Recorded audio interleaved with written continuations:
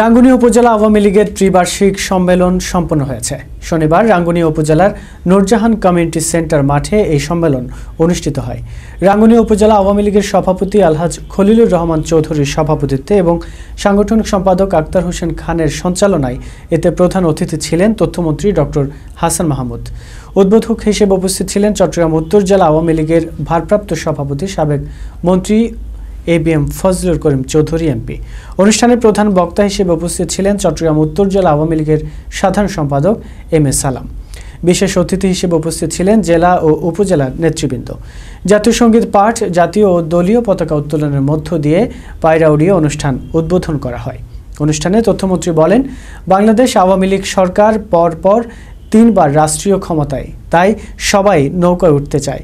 এ সময় সবাই নৌকায় উঠতে চাইলেও নৌকার চালক বানানো হবে না উল্লেখ করে মন্ত্রী বলেন, যারা আওয়ামী লীগের দুঃসময়ে ছিল তাদেরকেই যাচাই বাছাইয়ের মাধ্যমে নেতা বানানো হবে। সম্মেলনে রাঙ্গুনিয়া উপজেলা আওয়ামী লীগের সিনিয়র সহসভাপতি বীর মুক্তিযোদ্ধা সিরাজুল ইসলাম চৌধুরী এবং সাধারণ সম্পাদক নির্বাচিত হয় ইঞ্জিনিয়ার শামসুল আলম তালুকদার। যাদেরকে আমরা হারিয়েছি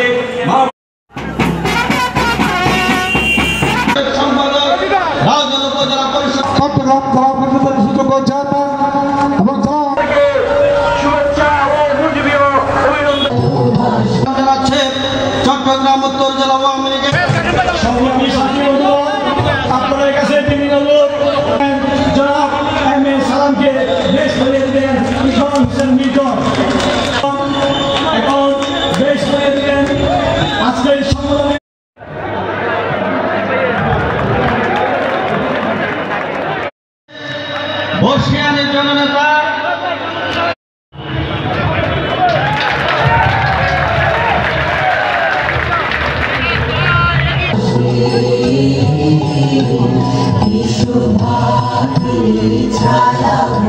আমাদের মনে রাখতে হবে, এখন সবাই আওয়ামী লীগের নৌকায় উঠতে চায়। কিন্তু নৌকায় আমরা সবাইকে নেব না। আমাদের নৌকা ইতিমধ্যেই ভরে গেছে। সুতরাং নৌকায় সবাইকে নেওয়া যাবে না। যারা পিঠ বাঁচানোর জন্য নৌকায় উঠতে চায় তাদেরকে নেওয়া যাবে না। যারা